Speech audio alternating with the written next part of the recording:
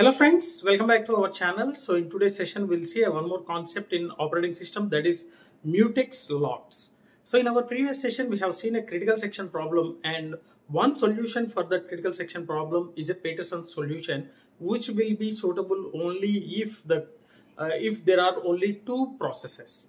So actually critical section problem means uh, at a time only one process can able to share the common resources. So that is called as a critical section. Now in today's session we'll see one more concept in that that is a mute, mutex locks. Mutex locks. So here the name itself indicates mutex means a mutual exclusion locks. So it is a mutual exclusion locks. So we know that the mutual exclusion means only one process is allowed to access the shared resource. If one process is sharing the uh, sharing the resource, utilizing this uh, resource, then other process have to wait until the uh, process gets finished its execution.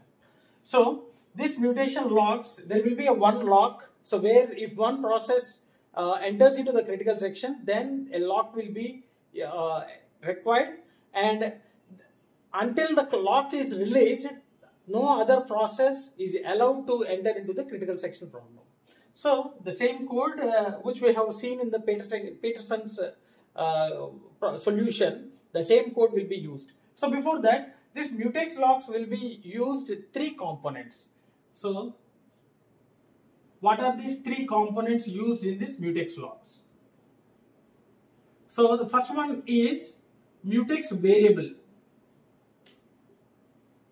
So the name itself indicates this is a variable which holds the state of the lock. State of lock. That means whether the lock is available or unavailable. Okay. So state means available or unavailable. So this mutex variable holds that state. And the second one is lock acquisition. So lock acquisition means every process will be requesting for the lock. Okay. So in order to utilize the shared resource. So every process. So you can also call it as a process or a thread. Okay. Every process or a thread will be requesting for a lock because to utilize the shared resource. So if the lock is available then the lock will be granted. If the lock is unavailable so the process or a thread should be in a waiting state. So if lock available. Lock is available. Then it will be granted. Then it will be granted to the process. If the lock is not available if the lock is not available process or thread will be in wait state until the lock is released. Okay, so what it means if lock is not available means the lock is already granted to some process.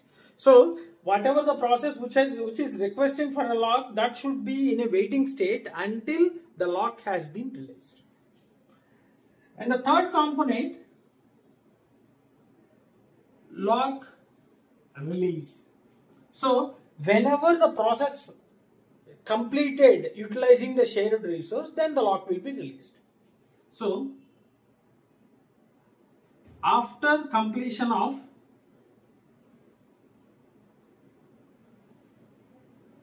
utilizing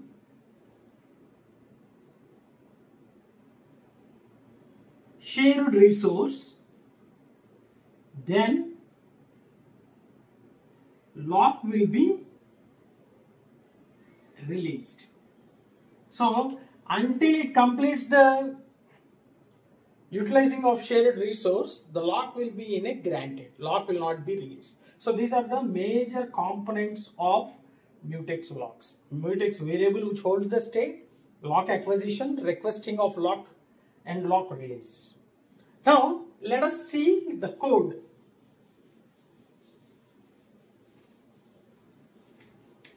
Code of these mutex locks.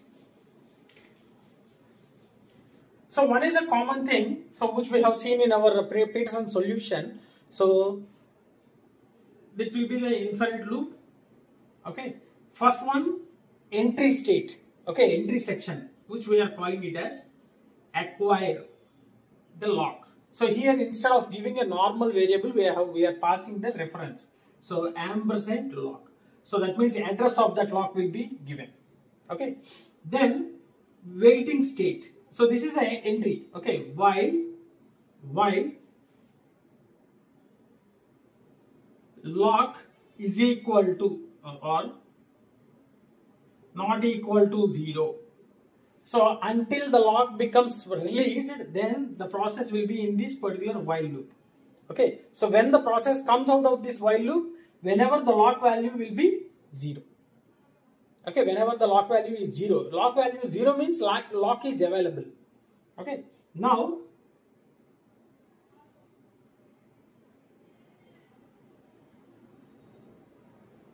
critical section the process will be entering into the critical section.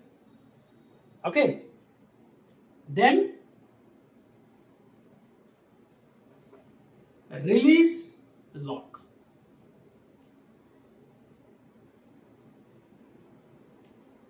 So this is a continuous loop. Okay. So if one process enter into here, it will request for the acquiring of lock. So acquiring of lock, we have to write it here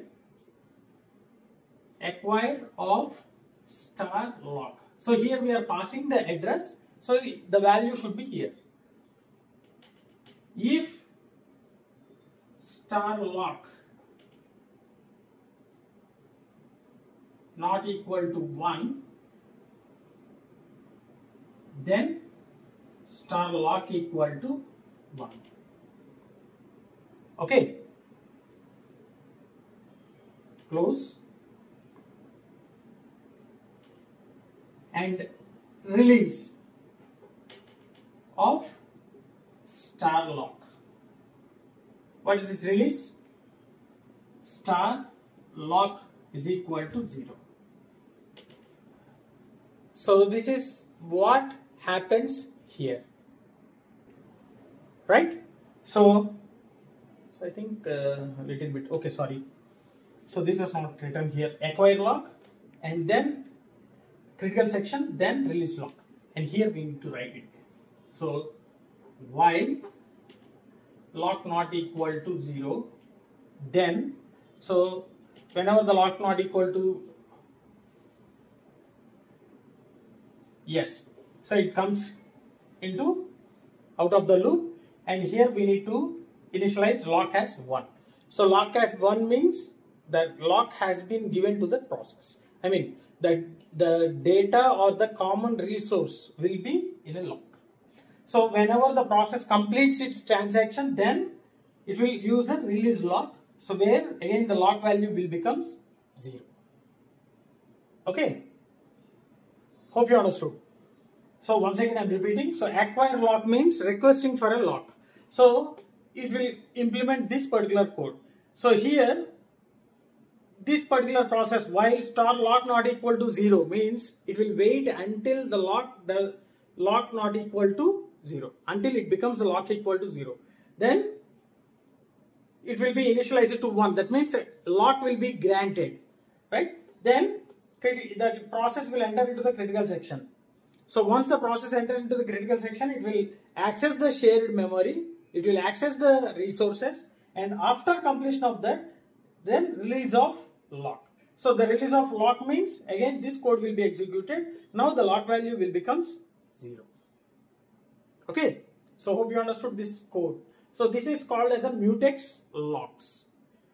Right. So with this mutex locks also the mutual exclusion will be implemented. That means at a time only one process can enter into the critical section. The other process have to be in a waiting state until the process completes the utilizing the shared resources in the critical section. Right? So hope you understood. Let's stop here and uh, in our next session we'll go with the another topic so if you really enjoyed my session, like my session, share my session with your friends and don't forget to subscribe to our channel. Thanks for watching. Thank you very much.